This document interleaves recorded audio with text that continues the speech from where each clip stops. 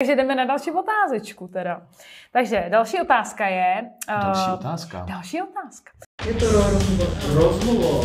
Rozhovor. Vymysleli jsme právě název. Co vás, mimochodem to jsou otázky od lidí z mýho Instagramu, jo. Co vás nejvíc motivuje se posouvat dál, tak asi začni. Hele, uh, já jsem včera byl na rande a ta holka, bylo to druhý rande, jo. A ta holka mi říká, víš Petře, Snad to bude aktuálně, až to vyjde. no, říká mi, víš Petře, ty naživo nejsi takový přemotivovaný č... No. To může, to může potvrdit.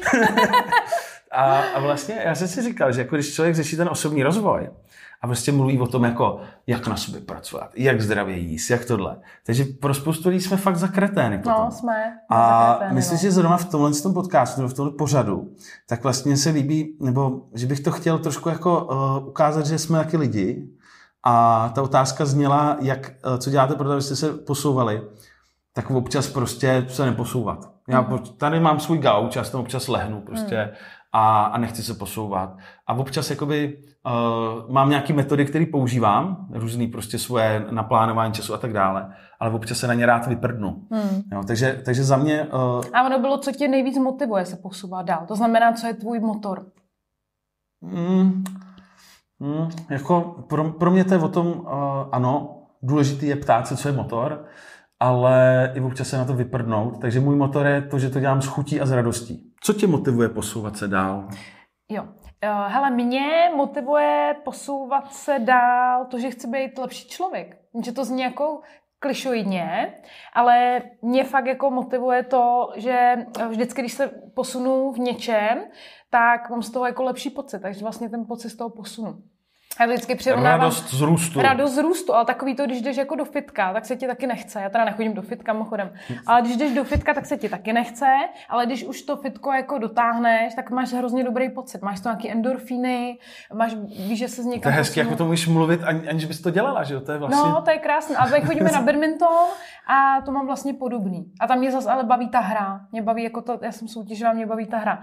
Ale uh, jako, hele, uh, co mě motivuje k tomu se poslat, závisí v čem. V podnikání to je jasný, tam jedeš prostě nějaký obraty, zvětšuješ firmu, zvyšuješ hodnoty firmy, tak to jsou taky body do hry, to jsou taky body ve hře. To je prostě hra. Což hraješ takový monopoly prostě Přesně. s vlastní firmou a prostě Přesně. máš ráda, že ti tam prostě cekle ty Ano. paklíky peněz se zvětšujou. Ale o peníze nejde. Já to já fakt přísám, že peníze, kdo mě zná, tak ví, tak já neberu jako peníze. Pro mě to peníze rovná se svoboda, ale svoboda v tom, že ty je vemeš a zase t- tu firmu zvětšíš a zkvalitníš. Jo, takže takhle já to beru. No a co se týče jakoby nějakého toho, nějakých mých třeba, já nevím, těžko, já nevím vlastně, jak mě ty lidi vnímají, jestli mě vnímají jako v influencerku nebo jestli jako podnikatelku. Takže prostě z biznesového pohledu takhle, eh, v nějakém jako mým, mým seberozvoji nebo v nějakém, jakože já věřím, že se posouvám i jako člověk, tak tam mě motivuje to, že vidím, že ovlivňuju spoustu lidí kolem sebe, kteří se zlepšují společně se mnou. A to je jako, jako to vidím hodně. Motivace vlastním růstem a tím, že pomáháš růst druhým. Hmm. Jo, to mám stejně. Hmm. Ale zároveň jako velká část mojí práce je opravdu se na to fakt umě vyprdnout. A opravdu se třeba, když se ti nechce, tak se nenutit. Hele- a prostě dělat to z, z radostí a z lehkostí. Já jsem třeba teďka měla problém, že jsem měla pocit, že jsem jako přeinformovaná. Víš, že ono, když se do toho třeba přesně do těch seberozvojových věcí pustíš naplno, tak potom se dostaneš do bodu, kdy už si všechno stokrát slyšel, všechno No už si viděl, Půlka už tam není nic bullshit novýho, a přesně, furt půlka jako to samý. A teďka to slyšíš Hmm. od lidí, kterým to ani nevěříš a najednou to začne jako tak jako mutovat nějakým způsobem a potřebuješ se od toho fakt reálně odpočinout. Jo. Hmm. A začínám jako být hodně unavená z různých takových těch jako motivátorů, u kterých jako ví, že ani neví vlastně o čem mluvěj, že jenom to někde přečetl si jednu přesně- knížku.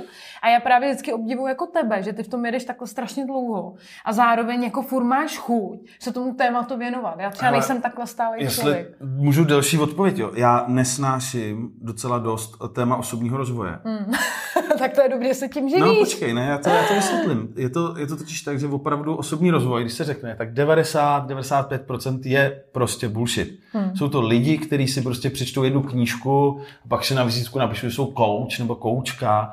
Jo, je, to, je to vlastně Ty vole, jako teď nás spoustu, spoustu lidí, kteří by sami evidentně potřebovali ve- velkou pomoc, tak se snaží pomáhat druhé. Ale na druhou stranu, v tom moři toho balastu, bordelu a bullshitu, tak je třeba 5-10% fakt kvalitních věcí. Jsou to uh, výzkumy právě třeba z Harvardu, ze Stanfordu o motivaci, o spokojenosti. Dobře, ale zase jsme u toho, že ty No. lidi, kteří to potom jakoby konzumujou, tak by měli trošku si to jako selektovat, od koho to konzumujou.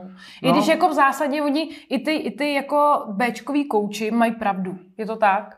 Nemyslím si, já myslím, že Bčkový kouč může udělat víc škody než užitku. Hmm, tak a za, za, mě je to opravdu o tom, že moje práce je těm lidem jako předvybrat ten kvali, ty kvalitní zdroje, aby to bylo prostě podložený, abych si za tím mohl stát. jenže a to oni taky tyhle čerpají od kouči- lidí, jako seš ty. Já si myslím, že tyhle ty No, já Bčkový si- kouči jako- někde Já čerpají. beru ne? Bčkový kouče, takový ty uh, EZO, prostě bullshit, Ježiš, prostě to, to mě nenapadlo ani. uh, léčíme se bazénovou chemií, jo? Jo. Jako tohle myslím. Jako ne, ne prostě lidi, co ti budou říkat, hej, pracuj na sobě, to se asi tím jako neskazíš. Jo, tak to já myslela, ty pracují na jako, sobě ty a ty úplně, myslíš, jo.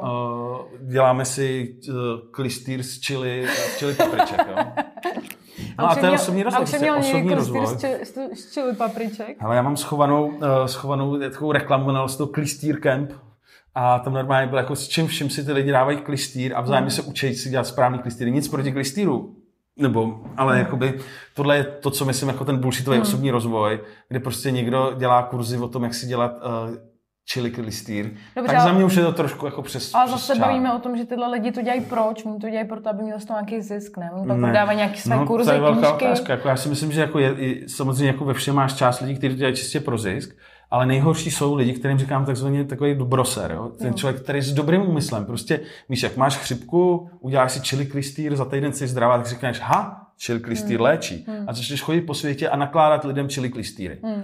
A bohužel potom to vede k tomu, že ty lidi nedokážou jako odfiltrovat, jestli to náhodou třeba nebyla náhoda, nebo jestli to není nějaká subjektivní zkušenost a stanou se z nich jako fanatický uh, šiřitelé chili klistýrů a můžou dělat víc škody než užitku. Takže tohle to pro mě osobní rozvoj, bych to schrnul teda, nebo jako uzavřel tohle téma. Tak osobní rozvoj, chápu, proč ho lidi hejtujou, chápu, proč, když se řekne osobní rozvoj, tak lidi mají pupínky, protože opravdu objektivně z 95% je to bullshit. Jo. Ale to neznamená, že všechno je bullshit. Hmm. A tohle může říct úplně na všechno. Jako Hmm. na libovolný obor prostě... Uh, Dá se to aplikovat na všechno, no. Vždycky jsou v tom dobrý i špatný. tak, Je to tak? je to tak.